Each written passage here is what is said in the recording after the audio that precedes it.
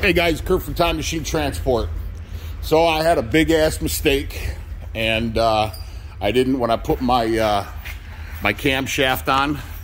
I didn't put the bottom bearings on. So I was going, walking through the shop, and I saw my bottom camshaft bearings in a box. So I literally, I already had the front cover on, I had everything else done, and I had to pull everything apart. So now that I got the front cover on, now I gotta make sure that those bolts didn't drop down there. So I pulled everything apart where you can see this little mark on the thrust plate.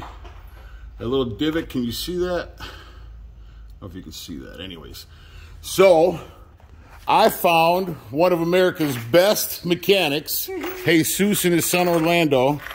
But what I did was is I smushed because I remember on the one video I showed you guys where the dowel pin has to line up into that hole in your thrust plate. Well, I smushed it and I almost tossed this camshaft across the shop. And thank God I didn't because I was unaware that you can actually replace the dowel pin. So the dowel pin, uh, that's the part number on it right there. And it is, is that dowel pin over here? Dowel pin is in the top. Uh, right here. Oh, yeah. Here's the dowel pin right here. Yeah. So Jesus, because we're trying to get it out, and it's pretty. It's in there pretty good because obviously I even drove it in further, further when I when I smashed it. That's the dowel pin, and oops. So Jesus is doing his magic on it, and then he's going to help me put the truck back together. So, um, anyways. But as I was doing this, when I showed you guys how to, or when I explained how to do the camshaft, Jesus, because I didn't see anything on uh, YouTube on this, but Jesus, that was the look of the camshaft bearings in there. And yeah, I'd put oil on them or whatever, like I was supposed to. But you see them now.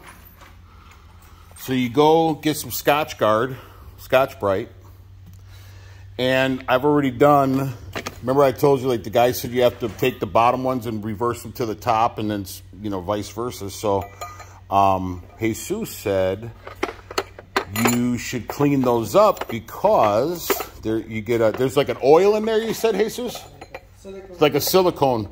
So make sure you take some brake cleaner, doesn't matter what kind you use, and a regular rag. Wipe them off first to get all the oil off and then take it and spray a little bit of brake cleaner. And you just need to do the insides of the, of the camshaft bearings. And yeah, I do have a little bit of wear on a few of these, but I'm okay with that. So Freightliner does not have these, and they're talking about a week to get them in, and I don't have time for that. So, um, so this is what they look like prior. So I still got two more to do, and that's what they look like afterwards. Right there. So, am I videotaping correctly? I think so. Um, and then uh, Jesus is going to help me put it back together. So, anyways, um, I just wanted to tell you guys not to make the same mistake that I made.